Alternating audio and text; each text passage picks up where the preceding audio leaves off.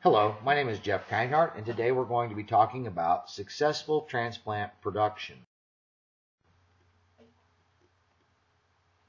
Why would a vegetable farmer want to use transplants? Transplants are commonly used in temperate climate areas like Illinois for several reasons. First, they allow growers to achieve a higher percentage germination from expensive seed. Some hybrid seed can cost as much as a dollar or more per seed, and it is critical for us to be economically successful that we achieve the maximum amount of germination from, some, from such high priced seed. Additionally, by using transplants, we gain four to six weeks or even more on the growing season. If we set a tomato transplant in the field on May the 1st, or if we were to plant seed in the ground on May the 1st, it's likely that there would be as much as eight or 10 weeks difference when we harvested the first tomato. So by utilizing transplants, we get to harvest crop much more rapidly. Early yields for crops typically allow us to one get a higher price in the marketplace and secondly they tend to be much easier to market.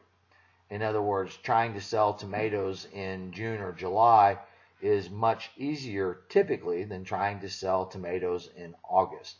And by utilizing transplants, we get the earliest yield possible. Transplants can be produced in either hotbeds or greenhouses. Uh, at least typically those would be the most common places that they would be raised. A hotbed, like seen on the left, is typically a low-profile box with a slanted top that is skinned with glass or polycarbonate or other light-transmitting material, very similar to the way greenhouses might be covered. Thermostatically controlled heat cables are the most common heat source for hotbeds, although there are alternatives such as composting manure and or plant debris that can be utilized inside the hotbed to provide a heat source. Greenhouses are by far the most common method for transplant production and the probably the most uh, likely that you will be successful is by trying to produce transplants inside of the greenhouse environment. It is fairly common for new growers to sometimes try to raise transplants either in their house or in a heated garage and they try to supplement a little bit of window light by providing some additional fluorescent or incandescent lighting. And with very rare exception, this almost always ends either poorly or even disastrously. It's very difficult to raise transplants of much quality uh, without access to either a hotbed or a greenhouse. It's not that it can't be done, but it's just not very commonly achieved.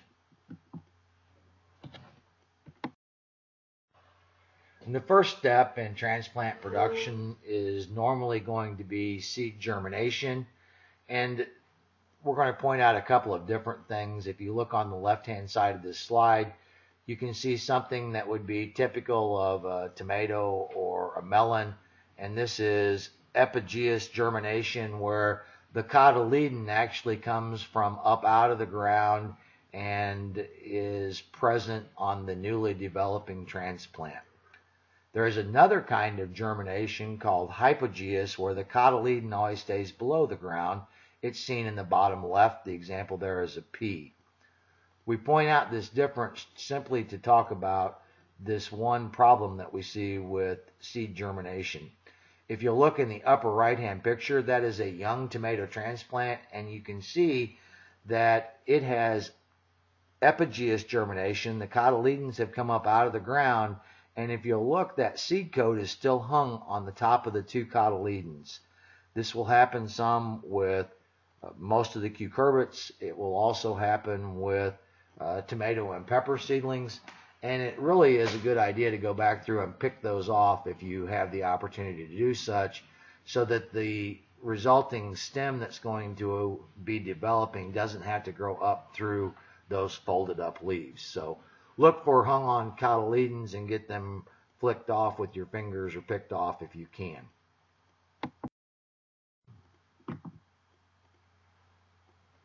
Seed germination requires several factors to be met in order for it to occur. The seed being used must be viable with a living embryo.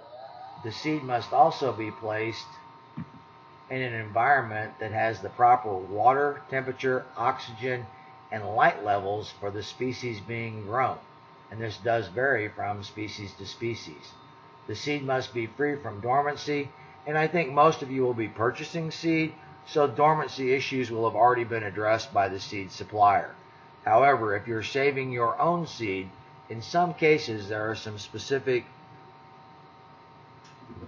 post-harvesting practices that must occur in order for dormancy to be relieved so that that seed will properly germinate the coming year.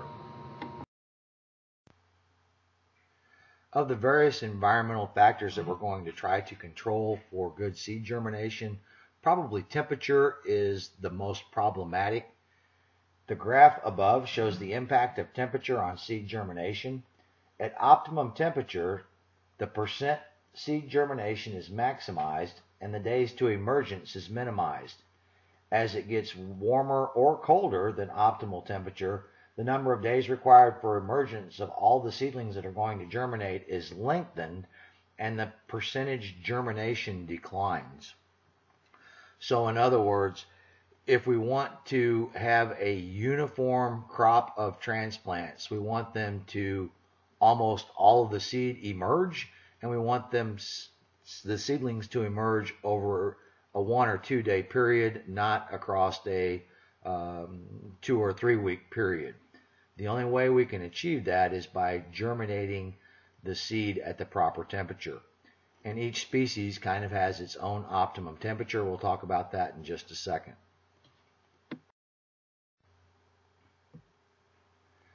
Here's a chart that shows kind of the optimum temperatures are indicated in the parentheses in red. Um, it shows you what kind of percent germination you achieve at various temperatures and the number of days it takes for the seedlings to emerge. And you can see there's a great difference.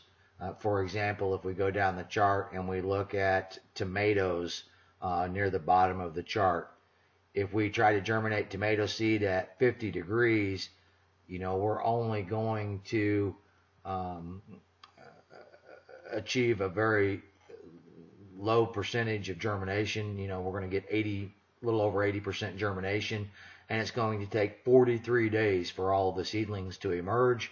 And as we get to sort of the optimum, somewhere around 77 to 80 degree temperatures, we see that we get 97% of the seed is going to germinate, and it only takes six days for all of the seedlings that are ever going to come up to actually start to grow and develop. So we get a much more uniform transplant production by utilizing optimum temperatures. Proper water and oxygen levels are also important for successful seed germination, and these will largely be determined by the choice of media that the grower is using. Plug mix is the most commonly used for seed germination. Plug mix, or also sometimes sold as seed starter mix, is a media that is finer in texture than the growing media that is normally used for actually raising the transplant later in the production cycle. Plug mix helps ensure that we have good seed soil contact and for most crops um, this is going to be the way that we're going to commonly germinate our seed. For a few crops like cucurbits, things like jiffy pellets seen in the right hand part of the slide here can be used. And in some cases, hydroponic growers may opt to use things like rock wool cubes that's seen in the bottom center of the slide here. But for most growers in a typical setting, you're going to use something called either plug mix or seed starter mix. And this is different than the growing media or, or typical potting soil.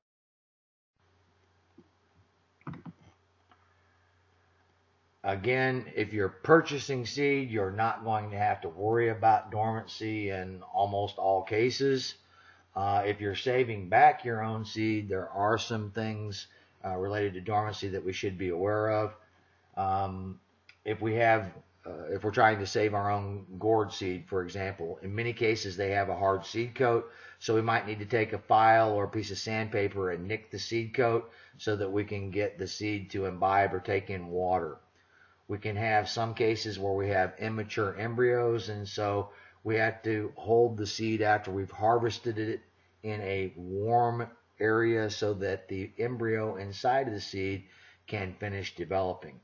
In other cases, there are some internal physiological dormancies that occur, and in those cases, uh, we would be talking about a stratification period, meaning that you know we might take the seed that we've collected and place it inside of a plastic baggie with some moist sphagnum peat moss and throw it down in the crisper drawer of our refrigerator for uh, one or two months prior to trying to germinate the seed. Again, if you're using purchased seed, we really don't have any concerns with dormancy. Whatever is required has already been done by the seed company that's selling it to you. If you're trying to save your own seed, make sure you've read through and, and done a little bit of homework before you try to germinate those saved seeds and make sure you're not going to have an issue with dormancy depending on what the specific species is that you're raising. Growers vary in the seeding methods they use, and in some cases, the seeding method varies also with the species being raised. Small growers and also small seeded species tend to rely heavily on simply broadcasting seed on the top of the plug mix.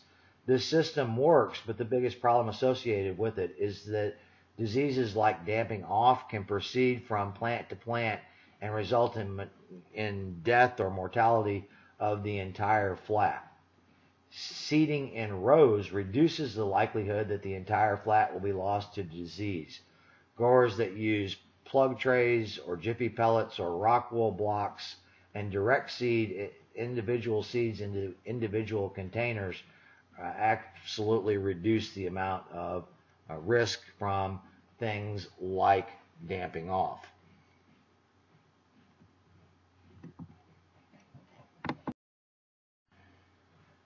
Here's an example of broadcasting and for really fine, really small seed, unless you have some very expensive specialized equipment, uh, this is going to be a pretty common practice. In some cases, if the seed is really fine, you can mix it with sand and broadcast that mixture of seed and sand across the flat so that we get a little bit more uniform disbursement of the individual seeds across the flat surface. But again, damping off, as we talked about earlier, can be a big problem and you can see that in the bottom right hand slide. You can see that we've got um, one of the water mold organisms, whether it's Pythium or Rhizoctonia, you know, you can't tell. You can just see that the seedlings are damping off. And you can see that that's marching very rapidly across that entire flat. By using something like this seedling tray that you see here where we have individual cells, it does two things one, it does reduce the risk for damping off. It's pretty difficult for it to spread from chamber to chamber. It's not that it can't happen, but it's uh, a lot safer mechanism to do this rather than broadcast across a simple open 1020 flat. The other thing, particularly when you're starting out, typically we're going to have a few seeds of several different varieties that we're looking at, and these seedling trays really lend themselves well to that particular scenario. This is a plug tray, and this is very common amongst larger growers, less common amongst people that are just getting started or small growers. But in a plug tray, we have a single individual seed that is put into each individual hole, and these work exceptionally well. That's why large growers utilize them. But in general, they require uh, some fairly expensive specialized equipment to be in place um, for growers to do a very large number of seeds in this fashion. Here are some of the variety of seedling aids or tools that are available for small growers to help with seed dispersal or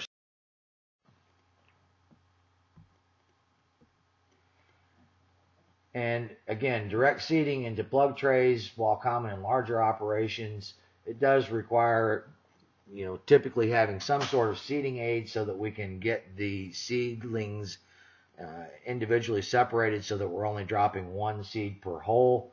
There are some tools to help direct seeding into plug trays. And if you look around uh, in the upper right would be the cheapest uh, sort of method of doing that. And that's going to be hooked to a vacuum cleaner. Um, in the bo- bottom right hand side of the slide, you're looking at something called a wand seeder and it's hooked to a vacuum pump. We have individual needles that you can see in the insert of that picture. And depending on the size of the seed, we change the bore of the needle or the gauge of the needle that we're using so that we can get enough vacuum to hold the seed in place, but that the hole is small enough that we don't get doubles. We only have one seed occupying each of the needles. In the bottom left is what is utilized by larger commercial operations. Um, typically, it's going to be called a Blackmore needle seeder, although there are other companies that make these as well. And again, they work absolutely amazingly. I spent hours running, uh, but they're very expensive. Once we've got our seed in place, whether it's in a seedling tray or in a plug tray, whatever it is, the next thing that's going to, to be our concern is the germination process.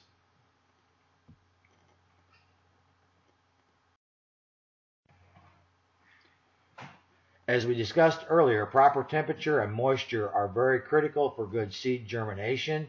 Larger operations will typically have an entire room. In many cases, it's a modified walk-in cooler where higher than average temperature and relative humidity are maintained for the germination process. Medium-sized growers may utilize purchased germinators like the one seen on the left-hand side of the slide here. Smaller growers typically utilize thermostatically controlled heat mats, and cover flats with domes to maintain humidity like you see on the right. These are pretty commonplace and relatively economical to purchase. They're not, they're not particularly expensive.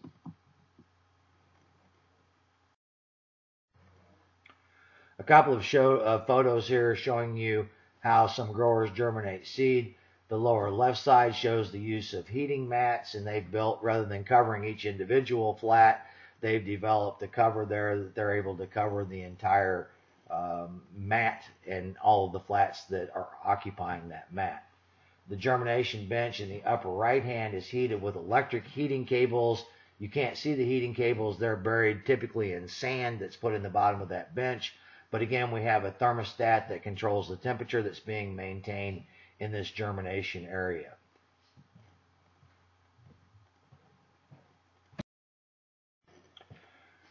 The upper left-hand slide here is, is showing you what a heat cable looks like. They're available in a wide variety of lengths and wattages, and we simply wind them underneath of the area that we're trying to going to use to uh, place our flats on that are going to be germinated. The right-hand picture is an example of a thermostat that is used to control either heat mats or cables. The copper probe that you see coming out of that blue box on the right-hand side is inserted into an empty flat or section of the flat that is filled with the same media and it is at the same degree of wetness as the rest of the flat being used to germinate seed. And then we plug our mat or heating cables into this and this kicks off and on uh, as required to maintain the temperature that we're looking for. Another tool that is critical is an accurate thermometer that can be inserted into the germination media. Uh, it sounds, you know, pretty simplistic, but you know, you really do need to have uh, one of these pocket thermometers, kind of similar to what might be carried around by a chef, so that we can put it into the media and get an actual temperature of what's going on in the media itself, not in the air above the media.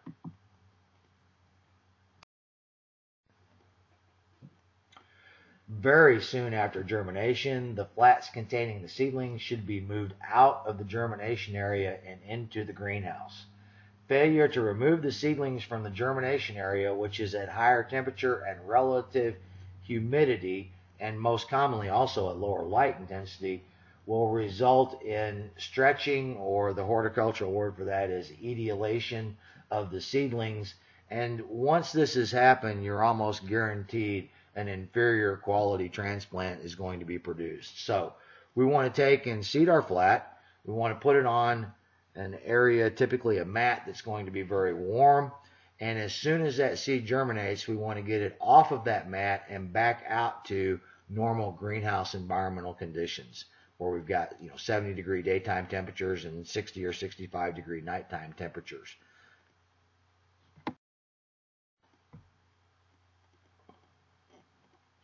Usually about a week after the seedling has emerged, it's time for us to pot the seedling that has developed.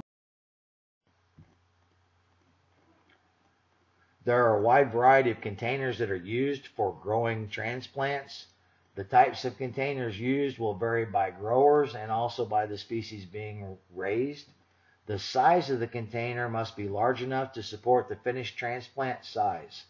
Growers should note that in a vast number of studies, there has been a correlation established between the size of the transplant being set and the amount of early and overall yield. In terms of materials, you know, we can grow transplants in plastic or clay or peat, uh, peat-based containers. And for many crops, not all crops, but for many crops like tomatoes, the larger the transplant that we set in the field, the earlier that we're going to harvest fruit and the higher the yield is going to be overall. This is a study that shows the impact of tomato transplant size on early and total marketable yield and you can look it up. There's you know the citing citation for that is is at the top of the slide. And larger transplant size simply equals greater yield. That's just kind of the way it is.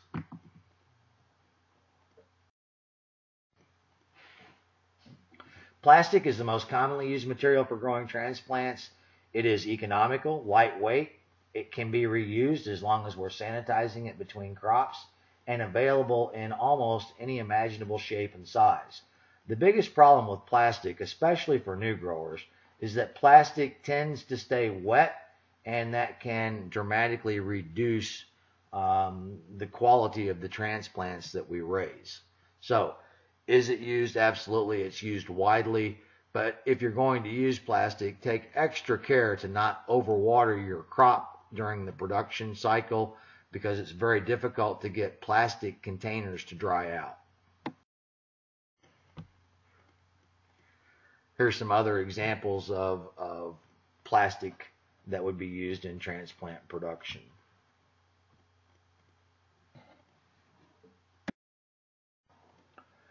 Clay, which was sort of the one of the standards for, you know, better than 100 years, has widely been phased out. Clay is seldom used anymore by commercial growers. It is very grower friendly. It is reusable and it is, assuming you bought unglazed clay pots, very easy to keep the media dried out in this, which helps us maintain a good environment and produce better quality transplants. However, clay pots are very expensive and they are very heavy. And because of those two factors, you just very seldom see them utilized for commercial production anymore. The use of peat containers is increasing among growers. The peat containers, while not reusable, are relatively cheap, very grower friendly. They are very easy to keep dry, to, you know, to not have a problem with the media staying too wet where we're trying to raise our transplants and they also are available in a wide variety of shapes and sizes. You know, there's not as many choices for shape and size as there is for plastic, but they are so forgiving if you happen to overwater or you get a series of cloudy days uh, where we can get in real trouble with plastic containers. I'm quite a fan of, of raising transplants in, in peat containers.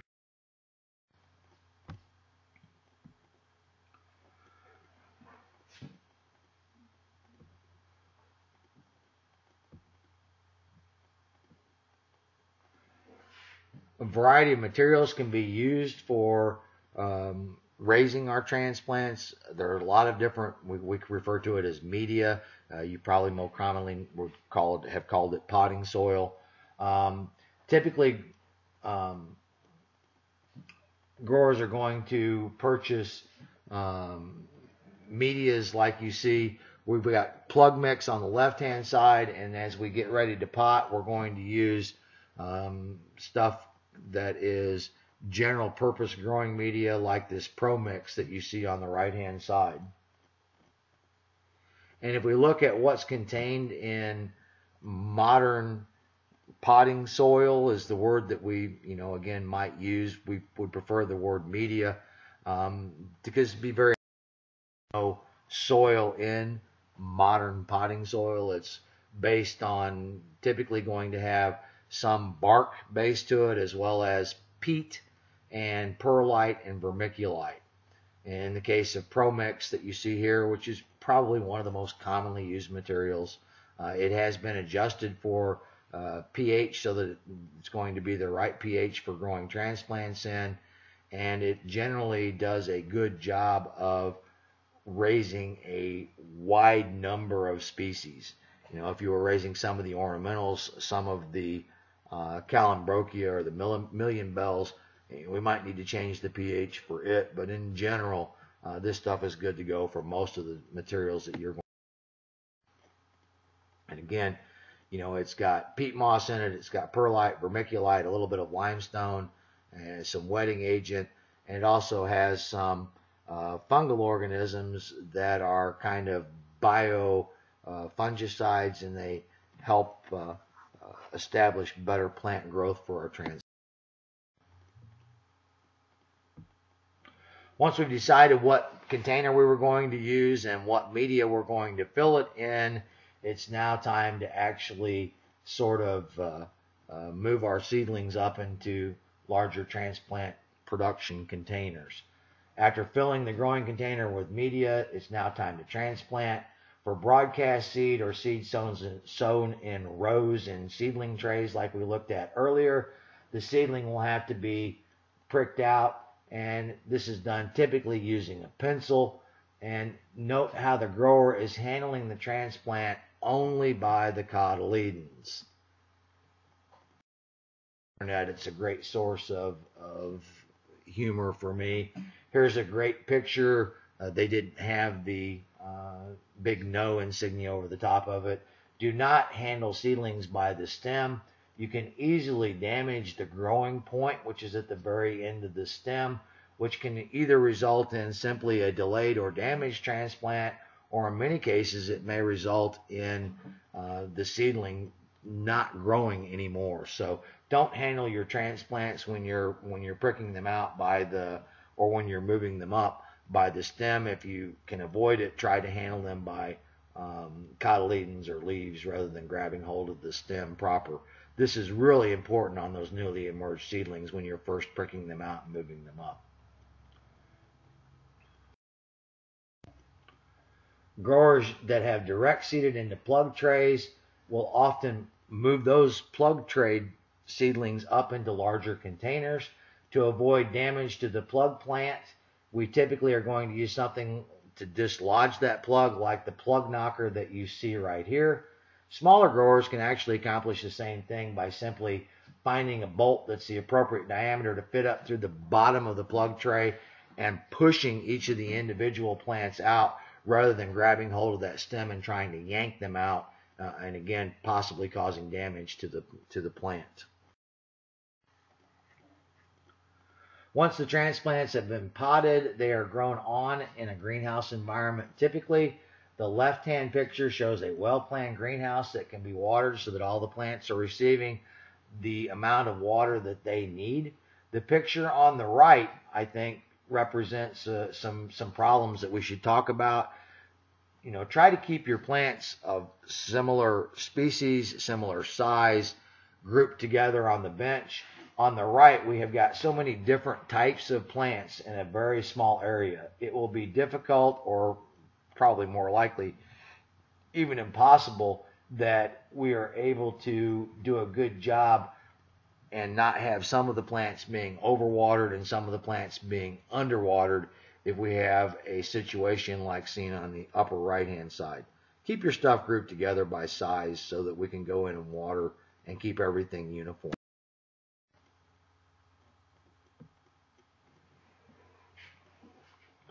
Successful transplant growing requires several factors. First and foremost, let's water the plants only when they need it.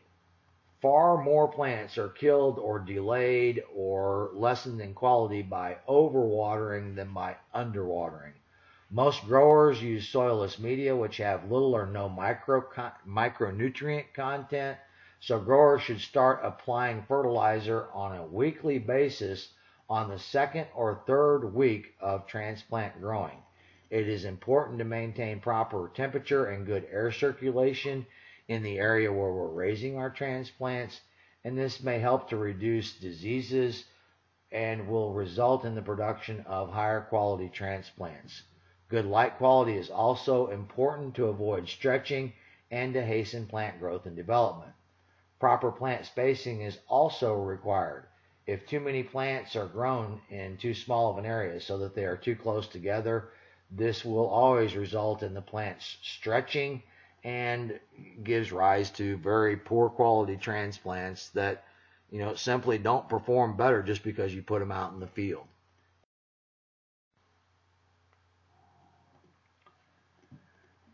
We said that typically we're not going to have any micronutrients in the potting soil or the media that we're going to be using. And so we're going to have to start fertilizing fairly early on in crop production. Most growers are going to use a water soluble fertilizer uh, in their transplant production. Organic producers might use fish emulsion or other suitable fertilizer forms.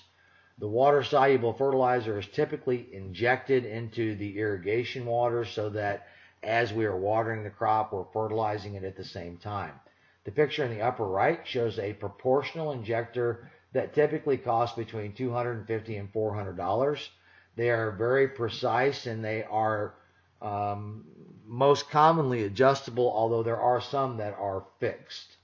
They normally operate somewhere in the vicinity of uh, injecting at the rate of 100 to 1. So if you'll look in that upper right hand picture at that injector, we have a stock tank or five gallon bucket in this case that is below the injector. For every 100 gallons that's going to come out the garden hose and be applied to the crop in the greenhouse, one gallon of the concentrated fertilizer solution is going to be sucked up and injected. So it's injecting at a rate of 100 to 1. Um, the bottom right shows a cheaper method of kind of accomplishing the same thing.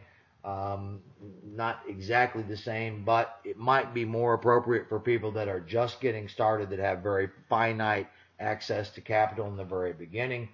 And this is using a, uh, a siphoning or type of an injector. You know, these are going to be relatively cheap. They're going to cost 30 or 40 bucks. The problem with them is that they're not as consistent in their application rate as what the proportional injector is. Well, that's one of the problems. And the second problem is that they don't inject uh, at such concentrations that it requires a lot of stock solution to be made.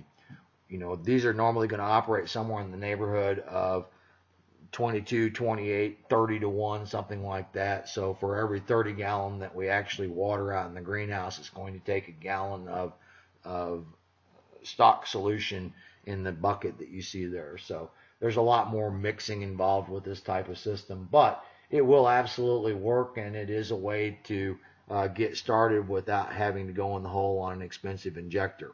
But as your operation flourishes and develops, I would sort of move to a proportional injector sooner rather than later. And this is just sort of the label of what you would find in, uh, you know, a good um, water soluble fertilizer. In this case, it's the label from the Scotts 2020 that we looked at in the previous slide. But I put it in here only to show you that we're not just getting nitrogen, phosphorus, and potassium, but this fertilizer also has the trace elements or the micronutrients that are also required for plant growth. You can see we've got boron, copper, iron, manganese, molybdenum, zinc. Um, and if we don't apply these through some type of fertilizer during the transplant production cycle, it is common that we will see nutritional deficiencies develop in the crop somewhere around week four.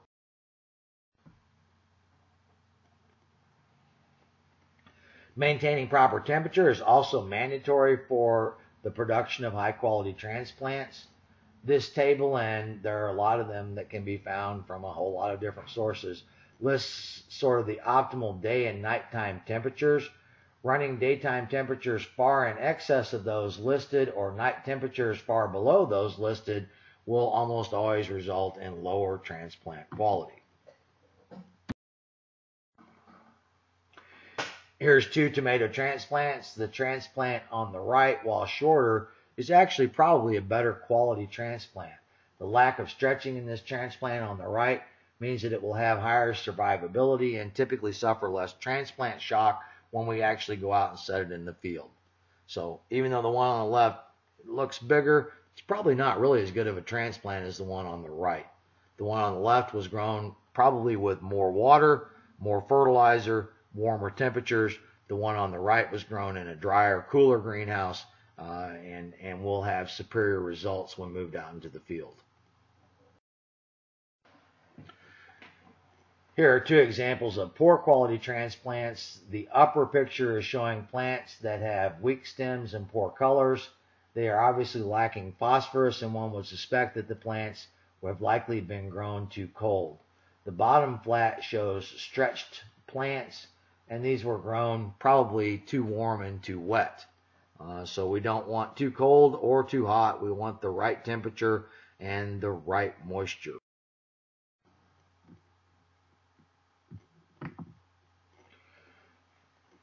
Good quality tomato transplants are nearly uh, a cube, meaning that they are almost equal in terms of their height and their width.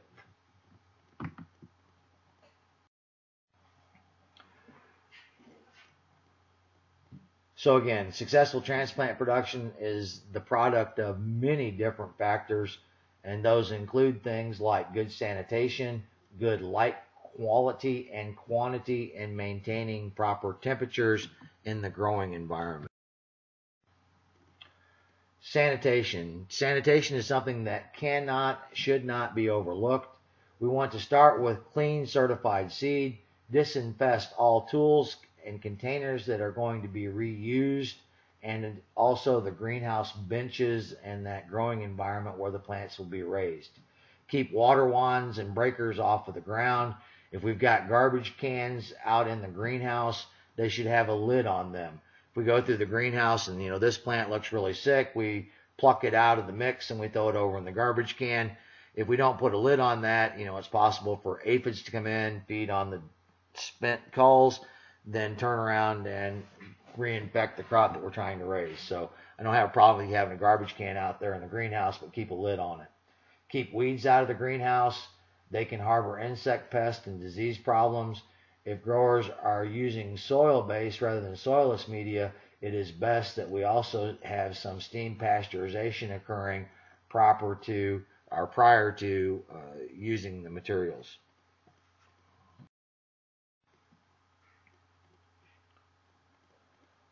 Although not commonplace, there are growers that use soil blocking for transplant production.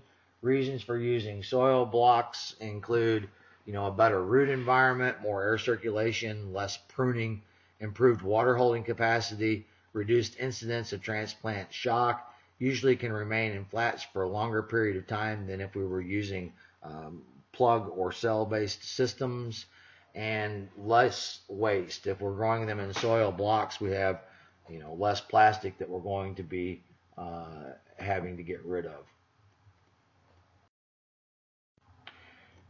Here are some examples of tools used to make soil blocks and tomato transplants being grown in soil blocks.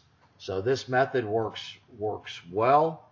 Um, again, it's not commonplace, but you definitely see it in Illinois. And for growers that learn how to do it, they are very good at growing transplants using this method. Here's the pictures of soil blocks that are pre-dibbled and ready for direct seeding.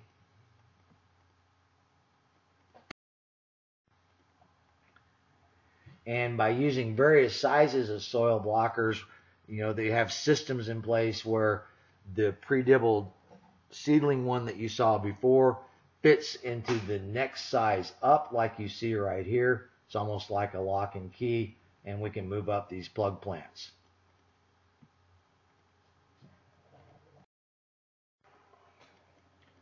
When we soil block, you know, we don't normally just go out to the edge of the field and stick this down in it. We have a mix that we make ourselves for soil blocking. And here is an example of one of the soil block mixes that can be used. Uh, three buckets of peat moss, half cup of lime, two buckets of perlite, three cups of fertilizer mix, one bucket of field soil, two buckets of compost, and we go through and mix this material and we can either steam pasteurize it or not. Um, but once that's done, then we come in and wet it up, get it at the correct temperature so that it will hold the shape of the block well, and we use our soil blocking tool to make the soil blocks we're going to raise our plants in.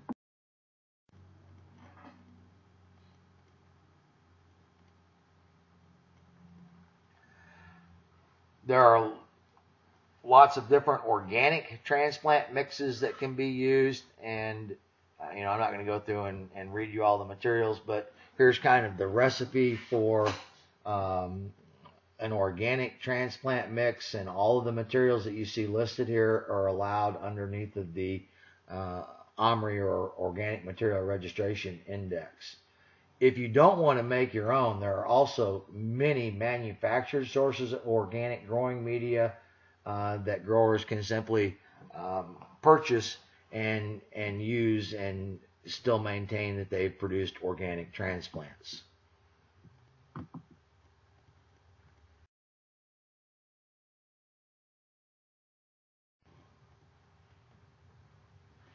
Many growers find themselves with leftover seed. How long we can save seed varies from species to species. Seed that is saved for use the following year should be stored in an area that is relatively cool and dry.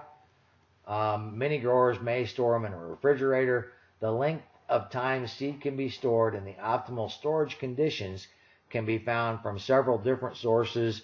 One of the most common ones is something known as the Knott's Vegetable Grower Handbook. But when we store seed, we normally would like to see the sum of the temperature in degrees Fahrenheit, and the relative humidity should be near 80 degrees. So something like 40 degree temperatures and 40% uh, relative humidity are good storage conditions for most seed. Although, again, you know, consult a, a site that talks about um, optimal seed storage conditions and make sure you're accommodating the specific species that you're trying to It is common for growers to face pest and disease problems that will need to be managed. Common insect pests that can occur in the greenhouse during transplant production would include aphids and thrips. Slugs can also occasionally be a problem. While insects and slugs can be addressed with pesticides, both conventional and organic growers will utilize this method. Virus diseases are more difficult to address and they are best addressed by using virus-free seed stock and varieties that are virus resistant. There are not good sprays that work to address viral problems. And, and, we can really see a lot of viral problems, particularly on some of the heirloom tomatoes. So, you know, watch, and if you think you've got seedlings that have got virus in them, you know, we need to get them rogued out and put into that garbage can. And remember, oh yes, put that garbage can such that it's got a lid on it when we get our uh, rogued plants placed into it. Thrips can be a major greenhouse pest, and they not only cause damage by feeding on the plants, but they can also transmit disease while they are feeding. Their management requires great diligence and often requires more than a single pest control method for successful management of the pest. So in other words, we might use something like uh, Botanigard as a, a pesticide spray, but in addition to that, we may also be utilizing some predatory mites that feed on thrips. So, you know, be diligent and always be out scouting your crop, looking for problems, and address your problems as soon as you find them.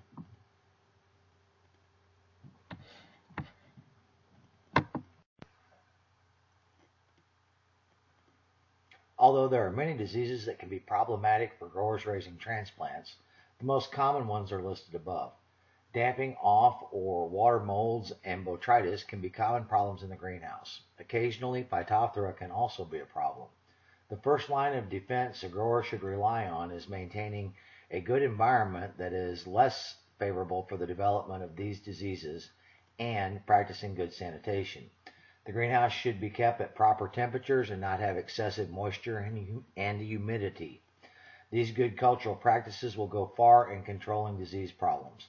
Additionally, there are both organic and synthetic pesticides that can be utilized to aid in the control of greenhouse diseases should they develop.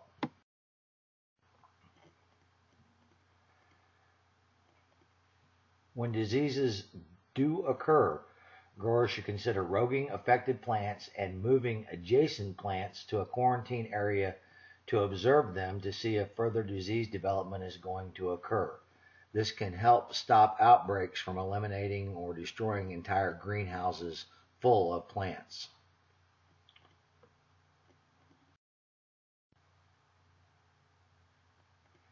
Good disease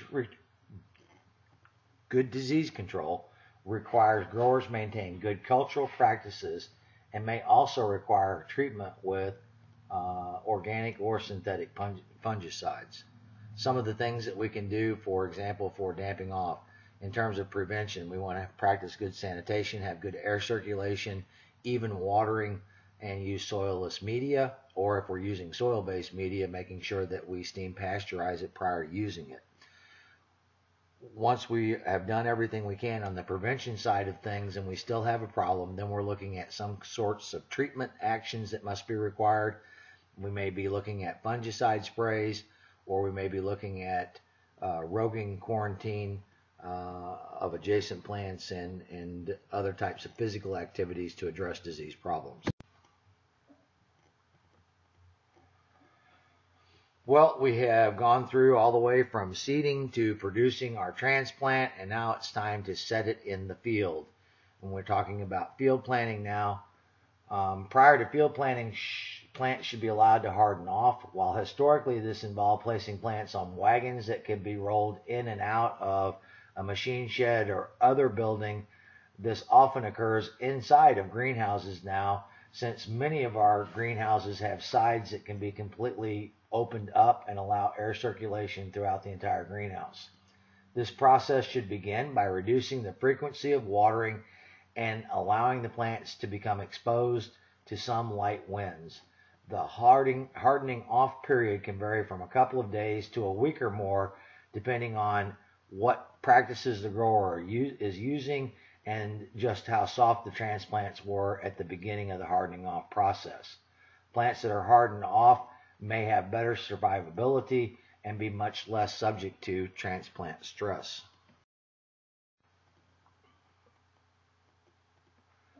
Other considerations at field planting time should include selecting only the healthiest transplants and setting them at the appropriate time.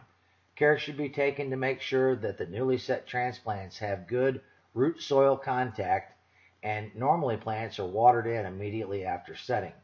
For many crops, it is also common that the water used for this watering in of the transplant contain water-soluble fertilizer, typically referred to as starter solution.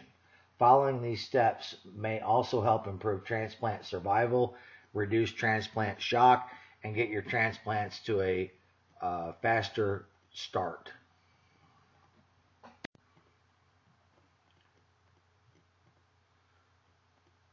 There are many types of machines that can be used for transplanting, such as the water wheel setter pictured above.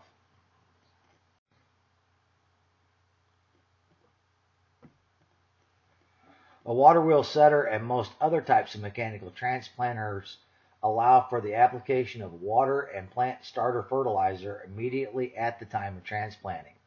There are devices for both bare ground and plasticulture growing systems. The use of tractor-drawn mechanical equipment does require that beds be laid out so that the tractor can be driven over the beds and also so that the conditions at planting time are dry enough to allow for tractor operation in the field when we need, when we need to set the plants. Smaller growers are often going to start out by transplanting by hand but even in those cases, there are some pieces of equipment that can help speed the process. Uh, here are some examples of some hole marking equipment that can be actually pulled through the field by hand, but it makes dibbles or shows spots where we can go back in and then and field set our plant. The equipment marks where the plants are to be set, allowing for uniform plant spacing without the need for a tape measure. Hand planting is more suitable for smaller plantings and does not require that the field be dry enough for tractor operation. Uneven rows and oddly shaped fields are not a problem for growers planting by hand, and they can be quite difficult to address if we're trying to use tractor drawn equipment.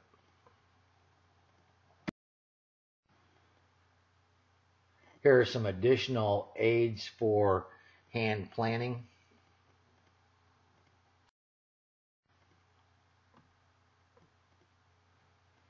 Field planting works best with straight rows and the row spacing, both the in-row and the between-row spacing, should be appropriate for the crop being raised. Transplants should be set at proper depth and the field should be soil sampled and amended as required prior to planting. Some growers may use row covers, particularly on early plantings. Row covers can be used to provide a slight degree of frost protection and they can also help reduce some of the insect problems for some specific crops.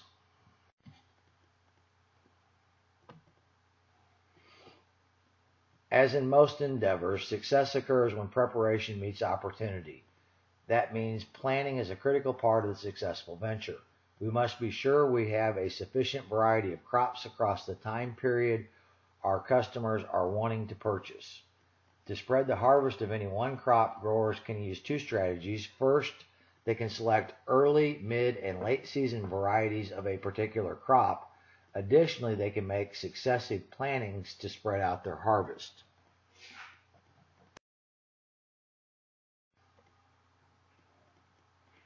Planting considerations include when do I want to plant? How long does it take to make the transplant? How many plants am I going to need? And how many plantings am I going to make? The first year, this will largely be a guess on the part of the new grower.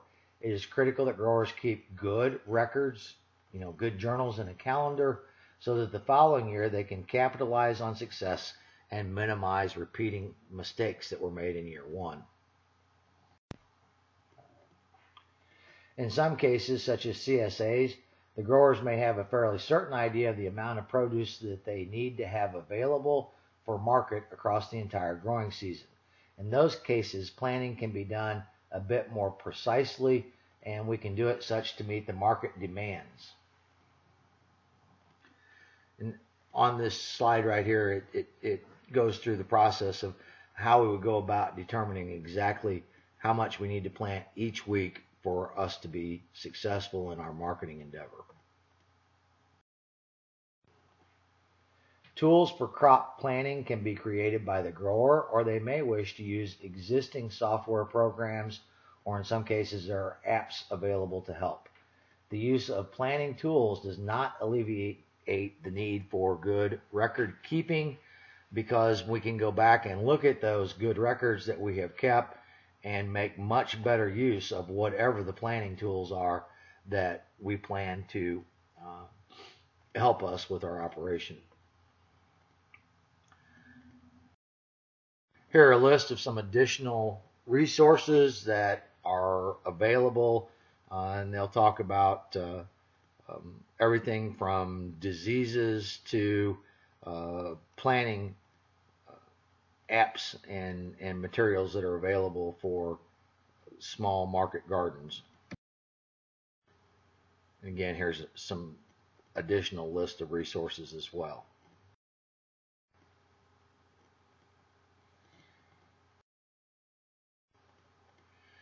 Happy transplanting. Uh, if you have questions, there's a couple of websites that you can visit. Or you can contact any of us and we'll do our best to answer any questions that you may have. Good luck with your transplant productions, and until next time, goodbye.